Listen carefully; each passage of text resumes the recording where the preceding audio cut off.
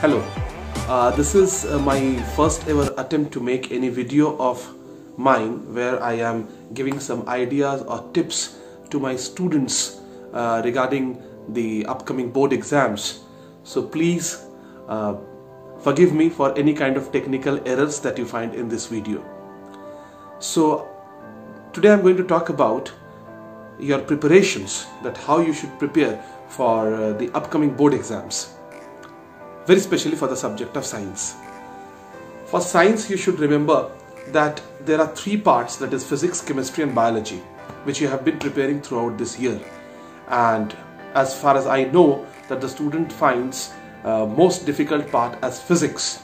Let me tell you, I can understand that physics is difficult for some students because of the numericals that they get in different chapters uh, very specially uh, with regard to the boards, I would say that your numericals will come from the chapter light and some questions can come from the chapter electricity.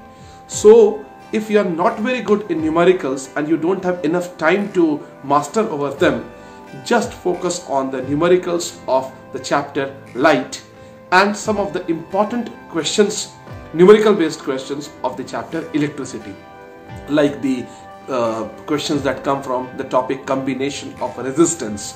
They are very important. At least one question will definitely come from combination of resistance or uh, circuit diagram. So these two uh, questions, th these two types of questions are very important in physics, very especially in numericals. Now, apart from numericals, if you uh, try to, if you want to score high in physics, then you should focus on the applications of the basic concept. For example, you have studied about reflection and refraction phenomena. Try to focus upon the practical applications of reflection and refraction, very especially the natural phenomena that you see around.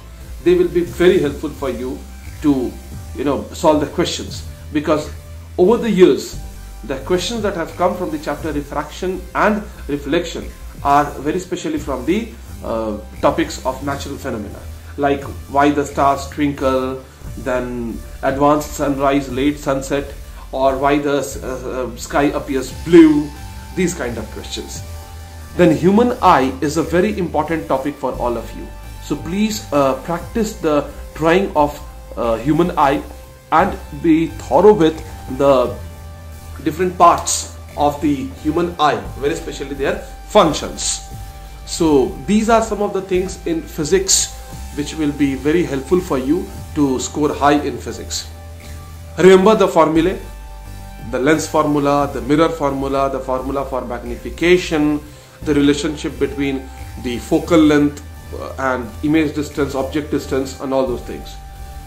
Be very particular about the sign convention while solving the numericals of light be very very particular about design convention where to put minus where to put plus and all those things. Because many good students makes silly mistakes in putting the symbols as a result of which although they have solved the numericals correct but they don't get the full marks because of the wrong answer that they get at the end due to the wrong designation of the symbols. Coming on to chemistry i would say that just be specific with the chemical reactions given in NCERT. I know that the students are a uh, little bit worried about the chemical reactions and the questions that comes from chemical reactions. So uh, NCERT is sufficient.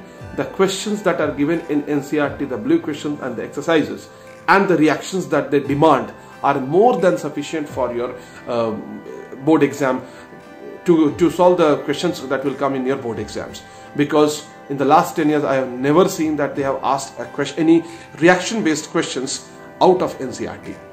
So be thorough with all the reactions that are given in NCERT. In my next video, I will try to tell you all the specific topics of chemistry which you should prepare uh, that will help you to get higher marks. Next is biology how to prepare biology in this last moment.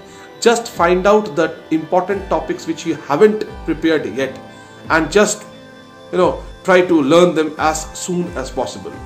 Very specially from life processes you should uh, focus upon the topics like photosynthesis human heart nephron and uh, the respiratory uh, system the system uh, the respiratory the human respiratory system.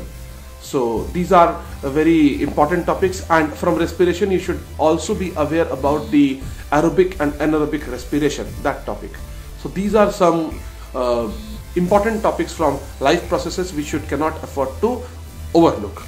From control and coordination be thorough with the functions of different parts of the brain be thorough with the functions of the different hormones secreted from the different endocrine glands be thorough with the different different tropic movements and their examples. These are something very important. And never forget to practice the diagram of the neuron the reflex arc. Coming on to reproduction chapter practice thoroughly the diagram of the male and the female reproductive system remember the examples of different asexual mode of reproduction. Binary fission spore formation budding and so on. Vegetative propagation plant tissue culture and all. They are very important. Heredity and evolution i know that some of you find it very difficult because it was something very new for you to study in class 10th so uh, going specific i would say that you should give your full focus on the mendelian process that is the most important topic in this chapter. The law of inheritance law of segregation law of dominance law of independent assortment monohybrid cross dihybrid cross they are very important for you. So you cannot afford to overlook these topics. From the evolution part specifically you should concentrate on uh, molecular phylogeny then artificial selection that wild cabbage and its different forms uh, that were selected then you, you have to focus upon homologous and analogous organs, convergent, divergent evolution and their examples. And um, you, you should also go through acquired and inherited traits, definitions of variations, why it is important for a species and such things. The last two chapters are environment and management of resources. You just give a gentle reading and go through the blue questions and the exercises. Not a single question is going to come outside it. So this is by and large the topics that you should uh, thoroughly prepare for your science exams. Now, the next part on which I would like to draw your attention is the question paper. How the question paper will come. So as you all are aware that this year the CBSE board has changed the pattern a little and there would be 20 one mark questions, 10 3 mark questions and uh, 6 5 marks questions my personal suggestion would be to start with 5 marks question. Again i'm telling you it's my personal suggestion. It's absolutely up to you that what you find comfortable for yourself. But if i would uh, appear for if when i would appear for a board exam i would say that uh, i would start for uh, with the 5 marks questions. Because at the beginning i've got enough time. I'll go through the question paper thoroughly and i'll see that the 5 marks questions are answered well just hold on. Sorry for the interruption. So I was talking about the question paper solving. So uh, this is my suggestion that you should start with the 5 marks questions because you will have enough time at the beginning. You can think you can create your answer properly and then write it down. And generally the 5 marks questions asks you to write down the diagrams draw the diagrams. So you'll have enough time to do that in a best possible way and if you start with attempting the 5 marks questions and you answer them nicely with very good presentation, with very well labeled diagram, definitely the examiners will also get a very good first impression of your answer sheet that which will help you uh, in the next uh, part of the answer sheet. When they will correct, they will correct in a better mood that I can say. Then after attempting all the 5 marks questions, you should go for the 3 marks questions. 3 marks questions could be a bit challenging for you, very especially some of them, because it may contain the numericals, it may contain some kind of reasoning based questions. So please uh, give enough time, think over the uh, question that what actually has been asked and then answer them properly.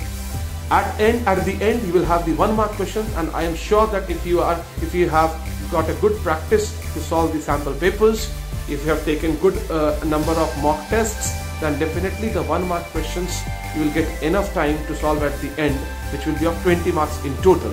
And um, you even after completing the whole question paper, you will get around 10 to 15 minutes to have a thorough revision. So this is my way to approach the question paper for science examination. Thank you. That's all from my side today. I will definitely come back with better uh, inputs, with better suggestions for you all in my next video. And once again, I'm sorry for the technical errors and uh, maybe the video was monotonous, but this is my first attempt. I will keep on learning. I'm sure about it. Thank you so much.